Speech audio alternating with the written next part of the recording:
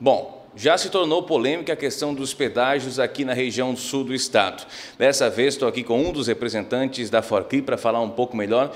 Tito Góes, o pedágio, as praças de pedágio, são benéficas ao sul de Santa Catarina? Nós acreditamos do Forcri que esse investimento de 7 bilhões e 300 milhões vai implementar um grande desenvolvimento no sul do estado. E com a judicialização que a FECAM vem fazendo, vem falando que vai, vai promover, isso ocorrerá um retardo em investimentos nas nossas, na nossa planta rodoviária e, com isso, nós trará um atraso nos investimentos decorrentes da boa infraestrutura. Então, a questão do pedágio, ninguém de nós quer pagar. Mas nós temos que entender o seguinte, que o governo federal não dispõe do dinheiro e a única maneira que, a exemplo do mundo inteiro, é transferir as rodovias à iniciativa privada para que essas empresas façam investimentos e certamente elas também têm que receber o investimento do o retorno do investimento que elas fazem ou irão fazer. E o pedágio é a maneira uh, encontrada para uh, ressarcir os cofres dessas empresas pelos investimentos que eles farão. Hoje se vê muitos prefeitos da região falando pelas, pela quantidade de praças de pedágio e também pelos valores. Isso é algo que chama atenção.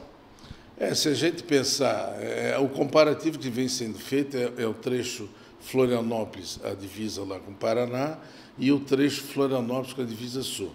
Mas se a gente visitar, viajar pelo país, aqui no Rio Grande do Sul nós pagamos pedágio bem maiores do que são praticados hoje no Estado.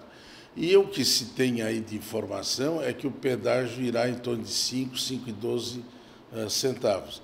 Mas nós temos que ter presentes é o seguinte, ou nós recebemos esse investimento e arcamos com essa, esse custo, ou nós não vamos receber o investimento.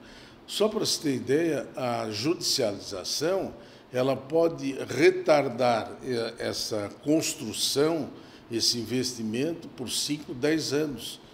E nesse tempo nós a gente assim consegue imaginar o sul do estado daqui a 5, 10 anos com um volume crescente de imóveis, sem que nós tenhamos as rodovias adequadas, sem que nós tenhamos as manutenções, sem que nós tenhamos as estradas vicinais, sem que nós tenhamos os acessos, a rodovia, o investimento da rodovia, ela vai trazer o quê? Um, um, fluxo para a escoação dos nossos produtos, para recebimento de novos produtos também, um, um tráfego com maior segurança, não é? O leito de pista sempre conservado, que hoje a gente sai da BR afora, tem momentos que a gente se depara com verdadeiras crateras. Então a nossa preocupação é essa e é uma preocupação de que se está discutindo aí, discutindo aí é um valor, assim, só para exemplificar, um, um, um, valor de quatro pedágios do quinto é um valor de um refrigerante, de um pão de queijo.